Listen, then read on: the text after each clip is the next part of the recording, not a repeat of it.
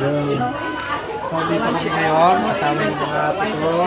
Ah, video. Uh, si Ate Jo. Si Ate Atlet. Ang asawa ko si Annalyn. Yan. Kain daw kami kain.